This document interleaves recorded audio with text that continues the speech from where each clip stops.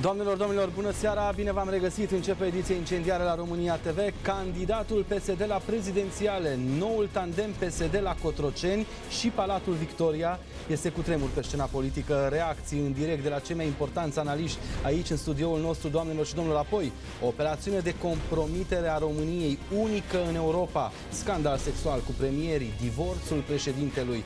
Păpușarul din culisele palatelor rupe tăcerea în această seară. Căsătoria orchestrată, atenție, la Palatul Cotroceni, o înregistrare care aruncă în aer scena politică. O să o ascultați în doar câteva minute. Ludovic Orban, atac fără precedent la USR și documentarul Noi resetări din România ce impun acum neomarsiștii în țara noastră.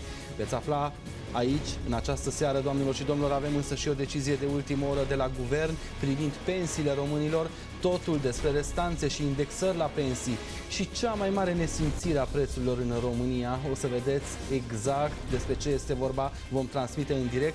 În tot acest timp, circ în studioul TV, combinatorul amenințat, citez, regret că nu îți pot rupe maxilarul. Avem înregistrare, avem imaginile, o să le vedeți în această seară. Aveți toate motivele să rămâneți cu noi, așa cum vă spuneam, alături de cei mai importanți analiști sunt aici împreună cu noi în această seară și le mulțumesc foarte mult pentru prezență. Analistul politic Bogdan Chiriac este împreună cu noi. Bună seara, domnule Chiriac, bine ați venit. Mă bucur că sunteți în studioul nostru. Mă bucur și eu mai ales în această seară, iată, când avem atât de multe subiecte Bă, importante, subiecte, da. înregistrarea care aruncă în aer scena politică, o să vedeți imediat despre ce este vorba, este pur și simplu uluitor. Avem această înregistrare, îi mulțumesc mult de tot. Mircea Diaconu, cunoscutul actor, este aici. Maestre, bine ați venit. Vă mulțumesc bună foarte seara, mult. Bună seara. Bună seara. Vă mulțumesc. Alături de jurnalistul Sorin Roșca Stănescu, o să-l vedeți chiar acum pe micile ecrane. Bună seara, vă mulțumesc, domnule Roșca Stănescu. Și în ultimul rând, președintele Partidului Republican din România, domnul Alexandru Coita, ni se alătură. Vă salut cu respect. Bună seara, Bună seara domnule Coita. Vă mulțumesc foarte mult. Acum însă venim cu o informație de breaking news. Așa cum vă spuneam, candidatul PSD la prezidențiale, doamnelor și domnilor, noul tandem PSD la Cotroceni și Palatul Victoria. Chiar în aceste momente, colegul nostru Dragoș Bistricianu vine cu toate informațiile de ultimă oră. Bună seara, Dragoș! Bună seara, Ioan! Bună seara, doamnelor, domnilor! Într-adevăr, este cu tremur pe scena politică din România și putem spune că a început din acest moment bătălia pentru alegerile prezidențiale din anul 2024 Alexandru Rafila este primul politician pregătit să-și asume o candidatură pentru cea mai înaltă funcție din stat. Mai mult cunoaștem formula completă, doamnelor. Domnilor, tandemul Cotroceni, Palatul Victoria, ar fi completat de nimeni altul decât Marcel Ciolacu, liderul PSD. Alexandru Rafila dezvăluie că nu va avea niciun fel de ezitare în a numi pe Marcel Ciolacu în funcția de prim-ministru al țării.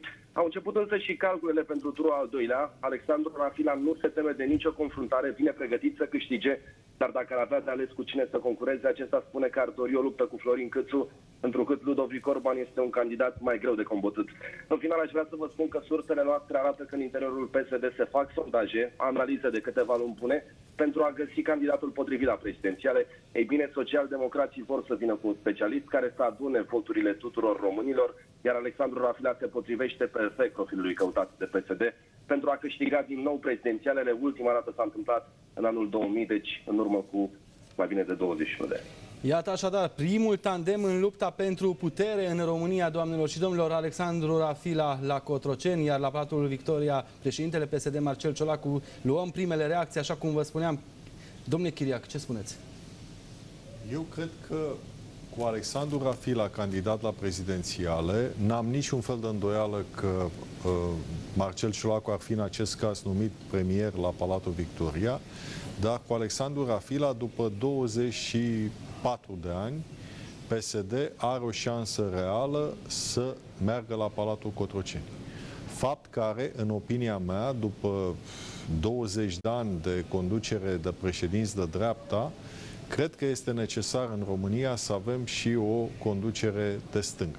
Alexandru Rafila nu este un politician tipic, îi face foarte bine că acum patru ani de zile e în Parlament, în Camera Deputaților și se pregătește, vede ce înseamnă legislativ, că e important. E medic, e profesor universitar, uh, nu este uh, uh, socialist de caviar, așa,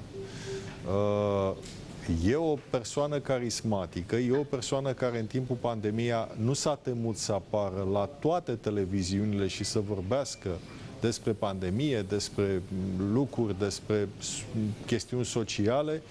Deci, în opinia mea, este probabil cel mai bun candidat pe care ar putea să-l aibă PSD în acest moment. Mai bun decât oricare alt candidat vehiculat din partea PSD. Și știți bine că PSD vehiculează vreo 6-7 candidați în acest moment. Așa, din această cauză, din, din acea, Păi, îi numărăm dacă vreți.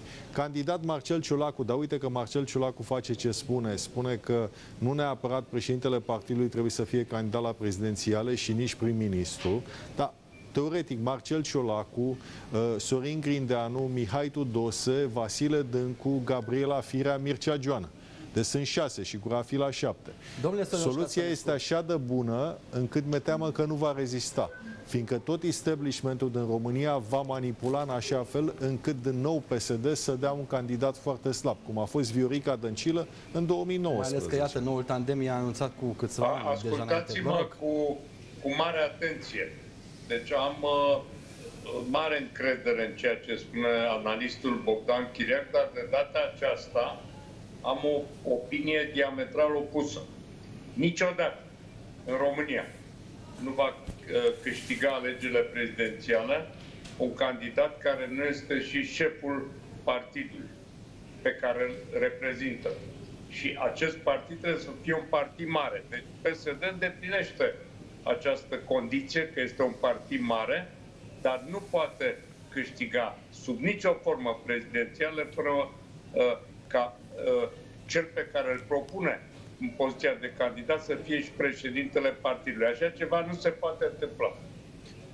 Un om, un om uh, și spun cu ghilimele de rigoare, care a luat foarte multe voturi de la români, este aici în uh, studioul nostru, domnule Diaconu, poate lua și domnul uh, Rafila la prezidențiale, iată așa cum ne spunea domnul Chiriac. Uh, vorbim prea devreme, sau s-au gândit și dânsii, cred că mult prea devreme, scena politică românească așteaptă curând, într-un an maxim, cred că niște schimbări fundamentale, niște cutremure politice, în mod sigur se vor petrece. Abia după aceea cred că te poți așeza în bloc starturi. E prea devreme, dar dacă discutăm așa pur și simplu, într-o duminică după amiaza, uh, mă tem că PSD, odată în plus, nu înțelege, cum nu înțelege de 21 de ani, că este cel mai mare partid, dar nu destul ia cel mai multe voturi, dar nu destule. Ori se va ajunge Și marea acolo... problemă este, da. pentru PSD, după ce ia 40 și nu știu cât, de unde mai ia 10%. Acei 10% e mare, mare, enormă problemă. Pe de altă parte, păi nu... Pot sunt tot se diametral, un politic rafilat. Tot diametral opus și față de domnul Chiriac și față de Sorin Roșcasănescu. De ce? Pentru că, după părerea mea, într-adevăr, uh, un președinte de partid are șanse mai mari, dar asta pe vremea lui Iliescu, care era vorba aceea, Iliescu și avea voturi mult mai multe decât partidul său. De atunci încoace, niciun șef de partid nu cred că e cazul să fie președintele țării. Că de dreapta, că de stânga. Pentru că automat, fiind de dreapta, vine cu haita lui, fiind de stânga, vine cu gașca lui. Este, este ora, ar fi, ferească Dumnezeu, o ratare nesfârșită a acestui subiect. În doar câteva acestui momente instrument fundamental. venim în fața a telespectatorilor. Băsescu, a fost Iohannis, da. Uh, a fost Băsescu, atenție, a fost Iohannis și a fost uh, uh, Iliescu. De singurii uh, șefi de stat, singurii președinți au fost șefi de partidă. Partea proastă, Sorin, partea proastă e că au ajuns președinți, exact cum spui, Sigur, dar n-au fost președinți. Rău, dar asta e mecanismul. Cred Dacă că... mă înțelegi, au, aju- au fost președinți, au ajuns președinți, dar nu s-au comportat ca niște președinți. Cred că o asta excepție notabilă a fost... Păi asta, abia asta e discuția. O excepție a fost Emil Constantinescu. Domnule Coita, ce spuneți? notabilă a fost Emil, Emil Constantinescu. Emil Constantinescu a fost președintele CDR-ului. Aștept să... Nu a fost, a Vă rog, domnule Coita. N-a fost președinte de partid, Sorin, a fost președintele, mă rog, vicepreședintele Alianței Civice. Pur și simplu, da. despre asta a fost vorba. Tot profesor universitar. Sigur. Profesorul Rafila președinte, domnule Coita. Zonă uh, uh, inteligentă, echilibrată și Emil Constantinescu și Alexandru Rafila Uh, și până la urmă Emil Constantinescu, în opinia mea, a făcut diferența în această țară. A fost să vedem ce ne spune și domnul Coita. Vă rog, domnule. Absolut la fel, maestre, mă bucur că suntem de acord. Bun. Uh, dacă au terminat distinși și mei uh, colegi de platou și de transmisie în direct prin 4 uh, sau 5G, ce să zic, sigur că PSD, la fel ca toate celelalte partide din România, se află într-o criză acută de leadership, adică nu are lideri proeminenți, un lider care să inspire. Probabil că liderii social-democrați testează diverse variante, s-a discutat de varianta Mircea Joană, Uh, acum se discută varianta Alexandru Rafila, ambii sunt oameni uh, distinși profesioniști, oameni cu o bună reputație și în cazul domnului Rafila cu mai puțină experiență politică, ceea ce probabil că nu e un lucru rău. Dar evident că suntem în 2021, mai sunt mai bine de trei ani până la prezidențiale, deci discutăm uh, scenarii. Că, din punctul meu de vedere, nu e, nu e o discuție serioasă. PSD încearcă din răsputeri să se mențină în atenția publică nu prea reușește, e o nouă discuție, dar din punctul meu de vedere, cred că ar trebui să înceapă să pornească motoarele, pentru că România are nevoie astăzi de un partid de opoziție și, din păcate, nu-l avem. Așa cum vă spuneam, doamnelor și domnilor, iată, așteptăm să vedem ce decizii se vor lua, dacă, într-adevăr, PSD merge mai departe cu această idee. Alexandru Rafila, președinte, candidat la prezidențiale, însă acum înregistrarea despre care vorbeam, breaking news.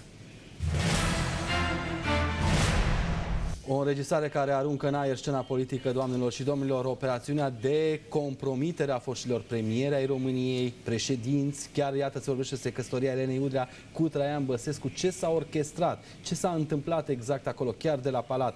Cosmin Gușă face dezvăluiri uluitoare în această seară aici la România TV. Mă trezesc la televizor cu Emil Boc, actualul primar al Clujului. Dom'le, Gușă-i de vină că Laura Andreșan vorbește despre Liviu Negăiță. Parcă eu eram de vină că Liviu Negăiță și-a dat jos pantalonii să mă Adică scuzați. dumneavoastră ați montat-o? Da. Adică eu eram un fel de codoș al Laurei Andreșan, asta se înțelegea de acolo. Și l-am sunat a doua zi pe Emil. Zic, mă, Emil, dragă, tu nu ești sănătos? Cum să vorbești că aș avea eu ceva să o pun pe Laura Andreșan să execute relații de tip neprincipial cu Domne, asta e politica, maestre. După aia mi-am dat seama că era de fapt doar o încălzire pentru Laura Andreșan, treaba asta cu Liviu Negoiță. De ce? Pentru că la câteva zile distanță,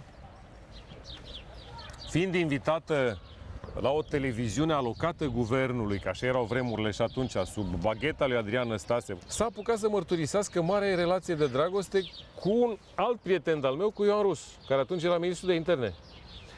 Uh, aia mie mi s-a părut deja o acțiune prin care se dorea eliminarea lui Ioan Rus din uh, guvern, pentru că să te duci la o televiziune guvernamentală, uh, direcționată de către șeful României de atunci, care era Adrian Stase, care era plecat într-o delegație externă exact în acea perioadă când se făceau acele lucruri, mie mi s-a părut clar.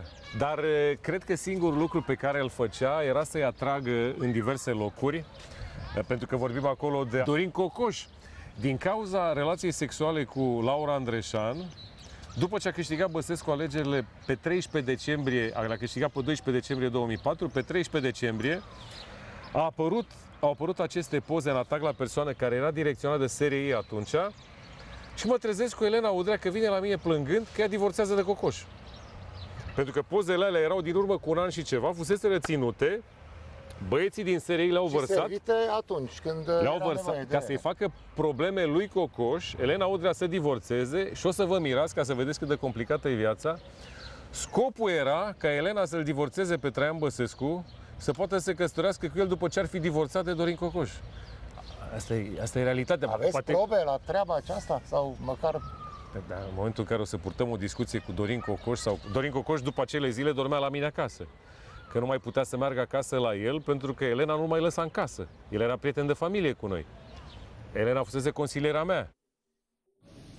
Vă dați seama ce operațiune, domnule Chiriac, până la urmă, cred, unică în uh, Europa, nici nu am auzit de compromiterea uh, președinților, a premierilor. Ați auzit și dumneavoastră ce Da, de François Hollande ați, ați auzit? Am auzit. Că am e de curând. Cu... E, dar Uitați-vă aici la pachet cu păi toți exact uh, liderii, miniștrii, președintele. Ce a fost, cu, a renunțat la consoarta, mă rog, era neomarxist, nu era căsătorit, cu Segolen Raial, deși aveau trei sau patru copii. Dar aici ați văzut până unde au vrut să meargă, la zonă. noi?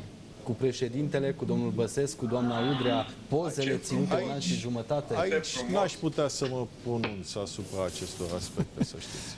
Doar că, de principiu, compromiterea unor personalități politice uh, prin uh, astfel de operațiuni, să știți că nu este nouă nici în uh, Europa și nici în Statele Unite. Sunt convins că ați auzit de scandalul Monica Levinsky. Dar și problema Bill e Clinton, nu? dacă ei au comis-o sau nu. Da, și asta este, exact cum spune domnul senator în partea asta. Dar, de principiu, compromiterea personalităților politice prin intermediul unor astfel de povești nu e, din nefericire, din mare nefericire, un lucru nou. Și el se întâmplă în SUA, se întâmplă în Europa, nu e gustat sub nicio formă în Europa nordică. Acolo așa ceva, dacă cineva face o astfel de afirmație, suferă persoana respectivă. Știați, uh, domnule Sonoș Casănescu, de m, aceste Repercusiuni operațiuni? De ce ne publice. povestește acum domnul Gușă? De ce se Evident. pregătea? Deci tot timpul am fost la curent uh, cu ceea ce se întâmplă și vă fac și eu dezvăluirea. Uh, Sorin Ovidiu Vântu, după ce a fost părăsit de uh, soția sa, care s-a încurcat cu Dan Andronic, uh, venea la noi acasă uh, cu tot felul de fete. Și sigur că la un moment dat l-am întrebat cine sunt uh, aceste persoane care treceau pe la noi pe acasă. Și mai în glumă, mai în serios, mi-a spus, mi-a spus că sunt centuristă. Uh, soția mea m-a rugat să vorbesc cu Vântu și am vorbit și el a înțeles să nu mai uh, uh, comită asemenea lucruri în casa noastră. Uh, și n-am mai comis. Dar la un moment dat, uh, Traian Băsescu uh, m-a rugat să mă ocup de Elena Udrea, care suferise acea lovitură de imagine într-o comisie parlamentară, când a confundat o monarhie cu o republică și presa se năpostise asupra ei și Traian Băsescu, care încă avea o relație bună cu mine, m-a rugat să mă ocup de imaginea, de repararea imaginii Elenei Udrea. Eu am spus, trimite-mi-o ca să cunosc materialul, să văd despre ce este vorba. În secunda aceea, soția mea a încremenit și mi-a zis, păi, dar o cunoști, este ultima centuristă. Vă rog, Deci ultima persoană care a venit cu uh, Sorin Ovidiu Vântu uh, la tine acasă, la noi acasă. Și atunci, uh, sigur că m-am simțit și eu puțin jenat. Fapt este că probabil și ea i-a spus uh, ceva lui Băsescu și n-a mai trimis-o la mine. Dar e real. e real, sunt mărturile dumneavoastră, domnule uh, Sorin sunt uh, mărturile Roșca mele uh, că- Stănescu. care sunt uh, probate de uh, soția mea, sunt probate de prieten, da, e o realitate. Vin la dumneavoastră, domnule Diaconu, uh, nu e o piesă, e realitate din ce ne spun, iată, domnul cred că e. Gușă, domnul Soinoș Castănescu, adică să fie așa o operațiune de compromitere la a președintelui, a Folosiți, vă premierului, rog a frumos, miniștrilor. verbul trecut, pentru că să fi fost, nu să fie. Deci toată povestea asta, mezeule, ori e la istorie, ori undeva departe, undeva fumată, cât ne mai atinge pe noi subiectul ăsta, îmi pare rău absolut deloc. Pe de altă parte, da, cred că, da, întreb și eu, cine e Laura Andreșan? Eu n-am auzit de așa ceva. Cine e persoana asta care e rol principal aici, înțeleg? Cine? Doamna Andreșan? Da. A, doamna Andreșan, cu- așa cum ne-a spus și domnul uh, Cine Gușă, a jucat, a jucat uh, și în uh, niște uh, uh, filme, dar de Udrea ați auzit. De Nici când doamna a jucat Elena din Udrea, filme de- n-am auzit, de nici domnul când a Traian jucat în Băsescu. paturi n-am auzit, jur, n-am auzit de ea, dar nu asta contează. Păi, de îmi imaginez doamna că Udrea așa ați se auzit? petrecea pe acolo și ce spune Sorin, ce s- mai, mai aflăm și de la domnul Gușă. Domnul Da, Gușă. probabil că așa se întâmpla pe acolo, prin paturile Mai- mai Cotroceniului. Vreți o, mai vreți o dezvăluire? Am făcut-o în ziarul ziua, dar n-a avut nimeni atenția cuvenită uh, pentru a o reține. O repet. Deci când uh, Elena Udre era consilierul uh, prezidențial sau șefă de cabinet, ce Dumnezeu era lui Traian Băsescu, uh, Traian Băsescu a dat dispoziție consulatului român de la New York uh, să îi procure cărți Elenei Udrea, a și vorbit în acest sens, în mod direct cu consulul, uh, rugându-l să se ocupe, pentru că ea urmează să fie, după 10 ani, atenție, uh, președinte al României și trebuie să se pregătească în uh, politică. și au, uh, a fost rugat consulul să se ocupe pentru ca Elena Udrea să primească cărți uh, de politică, să se pregătească pentru viitoarea meserie de președinte al uh, României. Este o realitate. Și oamenii de la consulat au umblat în patru labe să cumpere, să cumpere cărțile Neudrea. De altfel, ea s-a și căsătorit acolo de fațadă cu cocoș. Asta nu s-a mai întâmplat, nu am mai ajuns președinte. Domnule Coita, vin la dumneavoastră. Ce spuneți operațiunea asta? Ați văzut, de la miniștri până la uh, domnul președinte, doamna Udrea. Da, ce să zic, sunt niște operațiuni extrem de bine puse la punct, extrem de, de un nivel extraordinar de ridicat, adică practic sunt uh, o mostră a genului de politică pe care am văzut în România în ultimii 20 de ani, o politică de înaltă clasă, o politică elevată, o politică uh, făcută de oameni fini, oameni educați, patrioți uh, și așa mai departe. Deci, ce vreți să vă spun, domnule Corpoș? O mizerie, așa cum o s-a întâmplat multe mizerii de către oameni analfabeți, inculți, uh, lipsiți de orice um, umbră de rectitudine morală, de coloane vertebrale, de patriotism, care au condus România de prea mult timp, de când eram eu mic. Că eu eram tânăr pe vremea când doamna Andreșan făcea filme în care, evident, de care evident că domnul maestru Diaconu nu are cum să și știe. tot, să știți, tot că în prima asta este un mare artist. Domnule Coita, doamnelor și domnilor, o altă informație de breaking news chiar acum. Ludovic Orban, cel mai dur atac la adresa USR, doamnelor și domnilor, liderul PNL spune că nu i-a văzut niciodată pe partenerii de guvernare să jure pe Biblie sau să-și facă cruce. Ludovic Orban, chiar acum. Bun găsit tuturor, un atac uh, fără precedent pe care Ludovic Orban îl lansează la adresa celor din USR+. Spune Ludovic Orban că liberalii au niște parteneri de guvernare care parcă nu s-au născut aici. Și aș vrea să citez din declarația pe care a făcut-o președintele PNL și anume, nu i-am văzut la ziua drapelului național, nu i-am văzut la momente esențiale în celebrarea a tot ceea ce este simbol al națiunii române. Nu i-am văzut jurând pe Biblie, Biblie Biblie și nu i-am văzut făcând crucea. Noi suntem altfel. Mai mult, Ludovic Orban a ținut să le transmită colegilor că Partidul Național Liberal trebuie să fie o formațiune apropiată bisericii și anume trebuie să fim PNL, puternic ancorați în istoria noastră. Trebuie să fim un partid care să fie puternic legat de biserică, un partid care să promoveze morala creștină ca fundament al moralei publice. Și mai mult a mai transmis președintele PNL că noi trebuie să fim un partid care să sprijinim toate valorile tradiționale ale românilor, valori care, care sunt familia, biserica, satul românesc și comunitatea. Așadar, vedem acest atac extrem de dur pe care de această dată chiar Ludovic Orban îl lansează la adresa celor din USR+. Exact în acest context mergem, doamnelor și domnilor, acum cu documentarul Noi resetări din România. Ce impun acum neomarsiștii în țara noastră? Vedem împreună.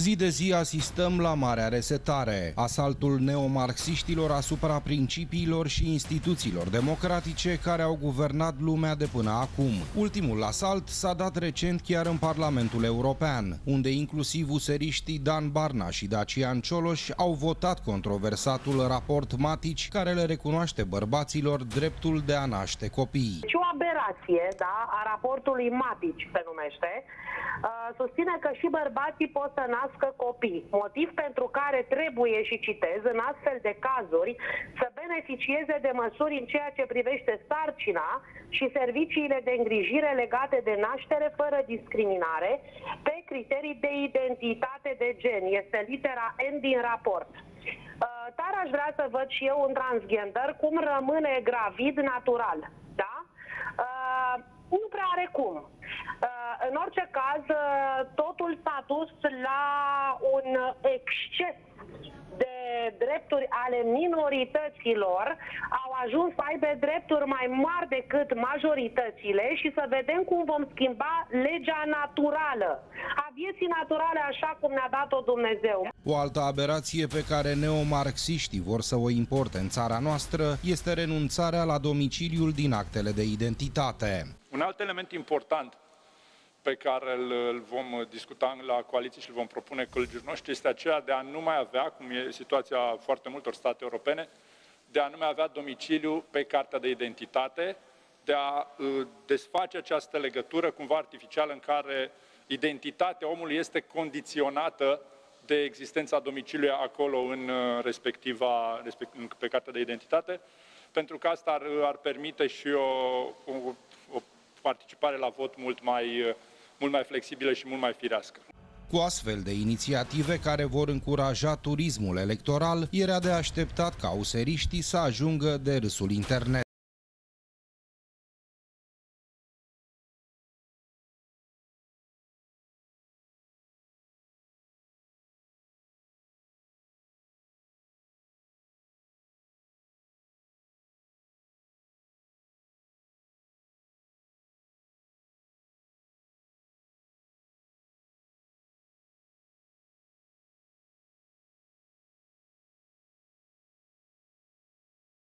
Și dacă legătura dintre domiciliul persoanei și cartea de identitate li se pare useriștilor una artificială, vedem că și mai artificială li se pare legătura dintre om și proprietate. Ida Auken, fostul ministru danez al mediului, una dintre reprezentantele de frunte ale noii normalități, scrie într-un articol vizionar intitulat Bun găsit în 2030 și publicat de Forumul Economic Mondial că oamenii nu vor mai deține nimic, nu vor mai avea intimitate, dar vor fi fericiți. Transportul, cazarea și mâncarea sunt gratuite, așa că nu mai are rost să dețineți nimic. Nu se folosesc mașini, se folosesc doar biciclete. Pentru distanța lungă poate fi chemată o mașină zburătoare sau mașină fără șofer. În orașul nostru nu plătim chiria, pentru că altcineva folosește spațiul nostru gratuit de fiecare dată când nu avem nevoie de el. Livingul meu este folosit pentru întâlniri de afaceri când nu sunt în preajmă.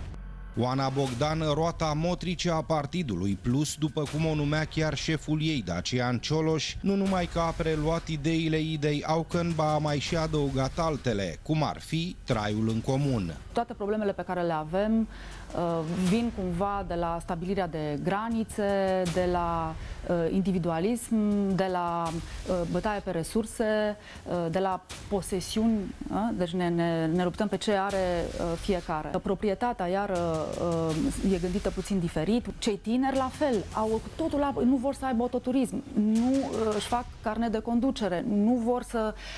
Înțelegeți, este o altă, altă raportare. Autoturismul este manifestarea individualismului. Oana Bogdan se laudă pe rețelele de socializare cu faptul că a participat la o discuție la Bruxelles, acolo unde s-a vorbit despre dreptul la proprietate. Cred că am fi oameni mult mai buni dacă nu am avea proprietăți și am trăi în grupuri în loc de cupluri. Ce s-ar întâmpla dacă următoarea pandemie ne-ar prinde trăind comunal? În primul rând că n-am mai avea pandemii dacă am trăi comunal, pentru că asta ne-ar reduce amprenta ecologică înghesuită ne transmite mesaje în formă de virus care ne țin în casă pământul n-ar mai trebui să fie în proprietatea nimănui. Oamenii muncii din fabrici și de pe ogoare și construiesc o viață nouă, chiapurii, spumegând de ură împotriva regimului de democrație populară, sabotează colectările. Dacă în marxismul clasic lupta de clasă se dădea între proletariat și burghezie, în neomarxism lupta se duce între minorități, fie ele religioase, sexuale ori rasiale și majorități. Cea mai urâtă manifestare a acestei lupte este distrugerea distrugerea familiei tradiționale, de dragul unui egalitarism dus la extrem. În numele lui, Parlamentul European a hotărât recent ca în actele oficiale să nu mai folosim cuvintele mamă și tată, ci părinte 1 și și părinte 2. Pentru cei care trăiesc cu capul în traista propagandei useriste, conexiunile și asemănările pe care le fac unii analiști nu înseamnă decât aderarea la teoria conspirației. Și cu această etichetă ei cred că au rezolvat tot. Numai că realitatea îi contrazice. Dacă Lenin a spus că comunismul nu înseamnă decât puterea sovietelor plus electrificarea, neomarxismul nu este decât puterea globaliștilor plus digitalizarea. Asta e domnule Sonoș Stănescu, mare resetare. Deci, deci de cine luați în proprietate? Eu nu știu ce uh, uh, va răspunde analistul Bogdan Chiriac, nici prietenul meu, uh, Mircea Diaconu, dar eu cred că acesta este un paradis al homelessilor. Deci te faci homeless și ai tot ce trebuie. Deci nu, nu, nu ai proprietate, nu ai identitate uh, și ești hrănit de societate. Deci nici nu mai trebuie să muncești, tu te faci homeless uh, atunci când ar trebui să muncești. Te faci homeless de la 20 de ani și circule așa uh, prin lume și te încurci cu tot felul de femei, dacă ești bărbat sau cu alți bărbați, dacă ești bărbat-femeie și așa mai departe, că vedeți că uh, uh, asta mi se pare cel mai important, că Miss uh, uh, Miami este un bărbat uh, care acum concurează la Miss uh, Statele Unite. Uh, acest bărbat care concurează la Miss Statele Unite s-ar putea să fie Miss Statele Unite și apoi să concureze la Miss Univers. Deci nu, nu mai trebuie să ne mirăm de nimic. Este în direct cu noi chiar acum domnul Crister Heș. Nu vă mai mirați. Domnul Crister Heș, cunoscutul europarlamentar, îi mulțumesc. Bună seara. Domnule Terheș, ne auziți? Da, da, vă aud. Vă întreb și pe dumneavoastră, asta este marea resetare. Am dat puțin mai devreme deja câteva bă, exemple, tot ceea ce se întâmplă, ce vedeți și dumneavoastră acolo la Bruxelles. Da, spune că asistăm la marea destructurare, nu neapărat resetare. Destructurarea familiei, destructurarea uh, mamei și tatălui, destructurarea noțiunii de bărbat și femeie, după cum ați văzut. Uh, femeilor li se recomandă și sunt îndemnate să facă avort, iar bărbații să nască. Uh, de aici urmează la chestiunea cu proprietatea despre care ați vorbit și despre care am mai vorbit, unde cetățenii să nu mai aibă proprietăți, să nu mai fie proprietari de bunuri, uh-huh. ci să închirieze tot ceea ce au, să se închirie, să, să nu mai aibă niciun bun proprietate personală și în momentul acela sunt efectiv în mâinile statului, pentru că asta se, asta se dorește. În momentul în care o persoană nu mai are bunuri, nu mai proprietar pe nimic și libertățile sale sunt limitate. Aduceți-vă aminte că în trecut când comuniștii s-au instaurat în România, după ce le-au confiscat armele oamenilor, următorul pas pe care l-au făcut au fost să le confiște proprietățile pentru a putea să controleze. Și asistăm exact la, aceea, la aceeași repetiție, a spune, și în, și în momentul de față. Referitor la... Uh, în acest moment intervine uh, în această seară și la România TV și Dana Budeanu, doamnelor și domnilor, se dezlănțuie la adresa propagandei neomarxiste. O ascultăm. Artiștii care cântă manele și muzică lăutărească, imbecilii dracului ce sunteți, cântă despre stări și induc oamenilor stări pe care voi, fătălăilor, nu le-ați simțit niciodată. Așa gunoaie, cum le considerați voi, ăștia care acum le lingeți tălpile, ca să vă ajute, gunoaiele astea de oameni care ascultă manele, muzică lăutărească, muzică populară, care merg la biserică, trăiesc în adevăr. Voi nu vedeți, bă, că am ajuns un desen animat? Suntem niște măscăriși. Să-l sunăm pe Hagi, pe Emeric Enei. Păi ce să facă Emeric? Să explice lui Barna cine e? Păi Barna nu știe cine sunt Hagi, americanei. Ați uitat? Dați înapoi la campania electorală. Este antologică faza cu acești neterminați care ne conduc și care râd în speță Barna despre oamenii care se uită la Taraf TV. Oamenii nu mai au încredere. În ce să aibă încredere când tu le-ai arătat doar moarte? Când tu le-ai arătat doar sărăcie? Când tu le-ai explicat că sunt vinovați pentru faptul că tu ai cheltuit jumătate de miliard de euro și n-ai făcut nimic. Și ai ieșit și ai spus că n-ai făcut nimic din cauza lor. Haosul este pentru că, în secunda în care statul este condus de o brigadă de imbecili, cap-coadă, un stat care nu are prim-ministru. Păi tu ai fost prim-ministru o zi. Știi, știi în ce zi ai fost prim-ministru? În ziua în care l-ai demis pe Blăduț. Alea, 12 ore. Când ți-o venit ție, la 12 noaptea, când s-a întâmplat. De la 12 noaptea până a doua zi, tu ai fost prim-ministru o zi. De unde Barna urla că dacă îi se demite vreun ministru, îi pleacă din uh, guvern și din coaliție, vezi că nu existi, socata. Tu nu existi. Tu știi că nu existi. Dar ai dracu, mai gândește-te când vorbești înainte. Tu existi? Cine ești tu? Tu ești președintele cărui partid? Al cui ești tu? Cine ești? Tu ești șef peste cine, mă? Cine, cine ești tu? Șeful cui? A cui? A două, trei secretare de pe la vreo organizație din țară? Cu cui ești tu șeful? Peste cine ești tu? Fătălăi ăștia pe trotinete. Ei pleacă pe trotinete să facă opoziție. Plecați, duceți-vă drecu. Ce să faceți, mă, voi? Voi sunteți determinați. Păi singurii fătălăi pe locul 1, fătălăi, fătălăi, sunteți voi în guvern.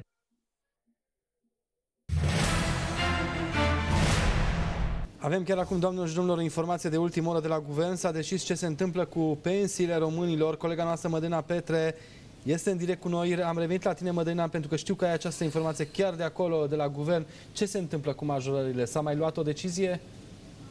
Bun găsit, eu bun găsit tuturor, dar nu sunt vești foarte bune pentru pensionari, pentru că cu toți așteptau o veste cu privire la majorarea pensiilor, însă ceea ce se știe în momentul de față este că cea mai apropiată creștere a pensiilor se va face abia anul viitor.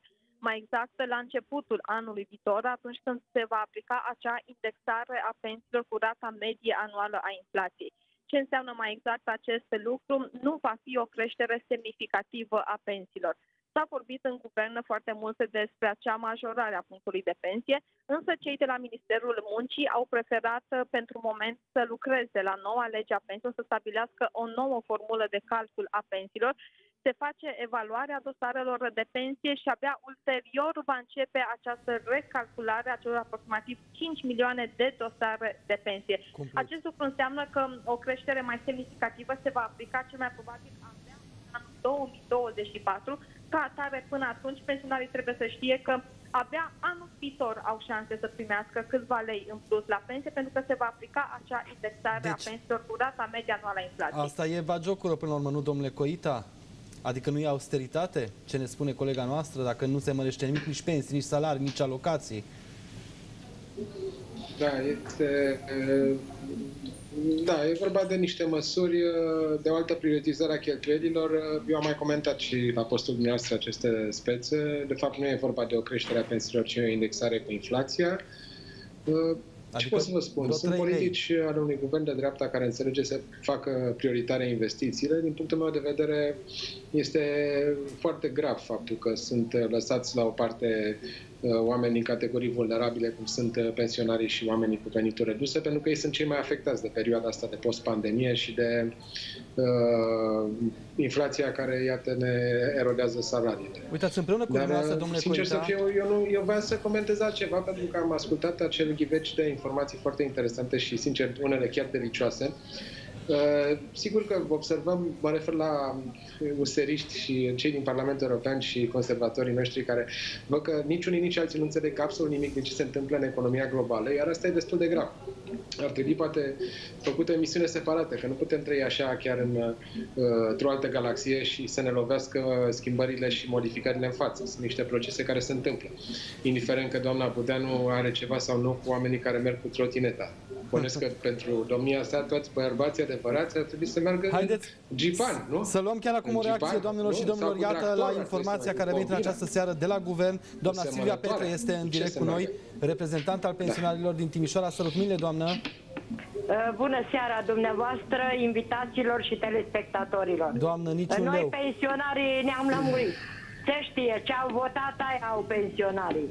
Așa că până în 2024 să-și ia gândul și de la indexare, și de la majorare, și de la inflație, și de la tot. Noi de, deocamdată suntem în proces, la înalta curte și de acolo la CEDO. Cel puțin să știe toată Europa că în România nu se respectă legile. Așa că să vină toți, că proprietățile se termină, restul se termină, așa că asta urmează. Pensionarii din Timiș știu, nu mai așteptați fraților, pe noi când ne convoacă la o întâlnire, cel puțin prefectura, la 14.30 ne convoacă, ca să fie sigur Că exact. pe canul și, asta nu vom merge la întâlnire. Și pentru că și dumneavoastră, doamna Pete, vorbeați despre prețuri, iată, toate se scumpesc. Acum de la uh, 1 iulie un alt uh, mare val de scumpiri. Vorbim și este cea mai mare nesimțire a prețurilor din România. Să vedeți și mergem chiar acum acolo la Bușteni, uh, doamnelor și domnilor, cum a ajuns, iată, o plimbare cu telecabina să coste cât un zbor cu avionul între București și Paris. Colegul nostru Costin Soare este acolo. Bună seara, Costin! Am găsit tuturor de când au crescut prețurile pentru o călătorie cu telecabina aici la Bușteni, numărul turiștilor a scăzut dramatic. Mai puțin de un sfert din ceea ce era altădată. Iată, de exemplu, în acea cabină nu sunt mai mult de două persoane. 170 de lei costă drumul dus întors uh, pentru o persoană, iar dacă vorbim despre o familie cu un copil, atunci imaginați-vă, doamnelor și domnilor, că va trebui să scoateți din buzunar aproximativ 100 de euro. Prețuri ceva mai mici sunt la Sinaia, acolo 60 de lei de persoană. Însă, după cum vedeți, iată, uh, turiștii nu se mai înghesuie să vadă babele direct uh, mergând cu această telecabină, nici măcar nu s-au făcut investiții majore. Sunt uh, tot aceleași uh, cabine vechi, nu s-au făcut modernizări care să justifice creșterea aceasta artificială a prețurilor, dar cel mai probabil patronii vor să recupereze paguba din pandemie, când nu se, puteau, nu se putea circula în zonă, turiștii erau foarte puțini, însă se pare că miza lor nu a fost una corectă, pentru că, iată, nu sunt turiști așa cum erau altă dată, erau cozi pe acest traseu, uh, poate de un kilometru, chiar și doi kilometri, acum este aproape pustiu. Pe de altă parte, probleme în turism sunt și pe litoral. Uh, românii care au ajuns, de exemplu, în Bulgaria se plângeau că pe litoralul românesc uh, închirierea șezlongurilor costă la Mamaia, de exemplu, 200 de lei, iar la vecinii bulgari 5, poate maximum 10 euro și își puneau întrebarea firească de altfel, nu este tot Marea Neagră. De ce turismul în România este atât de scump, condițiile nu sunt la fel de bune ca în străinătate? Acesta probabil este și motivul pentru care tot mai mulți români aleg să meargă în Grecia sau în Bulgaria. Da, chiar așa, stimați invitați, până unde cu prețurile astea? Vă dați seama că nu e nesimțire? Roman, împreună cu Petre Roman, puteți să-l întrebați, merg pe jos. Știu. Deci nu mai uh, plătim la telecabine. Dar nu știu cum e cu Bulgaria și cu litoralul, că aici e nasol. Da. Spuneți, domnule Diaconu. Păi, asta este, mă rog, acum au fost multe știri, multe informații, le cumulez o secundă. Păi ce ați vrea din unghiul de vedere și al prestației guvernului Câțu? Uh, cresc, slavă Domnului, dar masiv prețurile peste tot. Vreți să mai crească și veniturile? Nu mai înțeleg. Păi, că nu mai înțeleg. Nu ar fi cum firesc? să crească și? Păi așa ar fi... Păi, da, cum? Așa e aberant, fi... iertați-mă. Nu, nu s-au concentrat să crească toate prețurile? Cum să crească și veniturile? Ia iurea. E, ia iurea, ia iurea, nu vedeți? Și domnul, cum îl cheamă, Câțu, Florin Câțu. Da, premierul. Îl văd adeseori spunându-ne cu sinceritate și sigur, un pic cam bâlbâit, cum uh, trăim minunat, și economia este senzațională, inflația e atât de mică încât nu se vede pur și simplu. Dom'le, cineva e nebun în țara asta. Uitați-vă și la Cineva e nebun în țara asta și mă tem, mă tem că ăștia, iarăși mă leg o clipă și de aberațiile mai devreme uh-huh. spuse de doamna, cum o cheamă, Bogdan și ceilalți, da. nu știu ce, deci spun niște tâmpenii atât de mari încât să ne uităm la ele, să le vedem, să le uh, șeruim și așa mai departe. Asta vor de fapt, pentru că în sine nu se va întâmpla nimic din toate tâmpenile astea. Omenirea din când în când o ia razna. Haideți să vă mai arăt ceva, Tot Diacon. în grupuri trăiau și în timpul mișcării hippie. Trăiau în grupuri, copiii erau ai lor tuturor, ei Uitați-vă ce acolo, scandal, acolo, uitați-vă ce scandal care în studioul TV, combinatorul amenințat, regret că nu spătrupe maxilarul, asta i s-a spus, avem imaginele, le vedeți chiar acum. Ce pot să vă promit că Partidul Unității Naționale cu siguranță vă va extrada acolo unde vă este loc. Da, dar trebuie să respectați legea, Și să domnule știți Țâcu. că nu m-ați acolo înțeles, nu unde dumneavoastră, veți ajunge- nici Cafcaliuc, nici dumneavoastră, nici Acolo domnul unde veți Costiuc. ajunge- Trebuie să respectați legea. prelucrați așa Stimate domnule Țâcu, Eu am unicul regret că nu suntem într-o epocă în care aș putea să-i rup maxilarul individului, dar altceva n-am ce să Vedeți? spun. Vă rog, coborâm la un limbaj studioul suburban. Lege Liber. Au Dar fost îi spun doar timpuri. atâta. Aveți o Îi întrebare? spun doar atâta. Am fost coleg la Spartak, la clubul de box, cu Dorel Simion. Putem să-l sunăm. Vicecampion olimpic. A, Deci Și la campion istorie am mondial. trecut la box. Ca Nu, să... dar sunați-l pe Dorel Simion în direct, frații Simion, tatăl lor Dacă Gheorghe vreți, Simion. după asta afară puteți... Ce imagini, doamnelor și domnilor, continuă însă dezvăluirile. Le mulțumesc foarte mult invitațiilor. Noi ne revedem puțin mai târziu. Acum Simona Gheorghe vine alături de noi. O invit uh, aici în studio. Bună seara, Simona. Bună Știu că seara, ai Ioan noi Corcoș, dezvăluiri. bună seara invitațiilor tăi, bună seara doamnelor și domnilor, imediat aici la România TV în exclusivitate. Confruntare incendiară, doamnelor și domnilor, într-o ediție eveniment. Fostul premier, atenție, îl înfruntă pe actualul premier Mihai Tudose, îl atacă și îl demască pe Câțu. Sunt dezvăluiri șocante ce a făcut premierul neomarxiștilor cu visteria țării, unde au dispărut banii de la pensii, salarii, ce face premierul Câțu cu tezaurul de la Moscova. Sunt dezvăluiri în exclusivitate. Vorbim și despre procurorul lui Clotilde Alman, decizia de ultimă oră, ce îi pregătește acum primăriței alese prin fraudă după furtul voturilor cu saci, presiunea asupra martorilor, femeia care a văzut hoția săltată de poliție și monitorizată. Sunt dezvăluiri despre milionarul mort pe plajă, doamnelor și domnilor, circ în toată regula cu bombele sexy înainte de moarte, chiar la Timișoara. O nouă mașină aruncată în aer, răzbunarea mafioților, poliția din vestul țării este în alertă la această oră. O familie frumoasă distrusă într-o clipă la mall, liderii aur, o să vedeți imaginile bătaie în stradă cu scutierii. Imediat aici la, la România TV revenim cu o ediție incendiară în exclusivitate. Rămâneți alături de noi!